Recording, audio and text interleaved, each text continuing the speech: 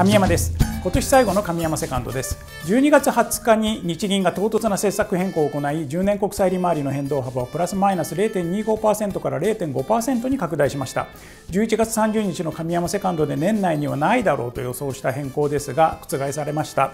しかし可能性は高まっていたので驚きは小さいです。今年に入ってから0.25%に張り付いていた10年国債利回りは上昇した30年債の利回りと比べればインフレの進展に合わせて本来上昇すべきだったと言えそうです。しかし黒田総裁は日本の賃金が幅広く上がることを確認してからと市場に思わせてきたので春闘の結果が見える春頃の政策変更を想定していました。そもそも輸出高止まりとコロナ禍からの正常化による賃金の上昇でインフレが継続する可能性がこれまでより強まってきており政策変更は時間の問題でした。しかし唐突な変動幅拡大で市場は驚いてしまい市場心理はリスクを避けがちになります。また今回の利回り変動幅の拡大は中心をゼロののままにして引き上げにしていないので日銀のメッセージが分かりにくく不安心理が高まりやすいです。まさらに今後長期金利が0.5%に張り付けば市場機能は改善のためにレンジの再拡大が必要となり政策変更が市場に引きずられることで日銀の信頼が低下しやすくなります。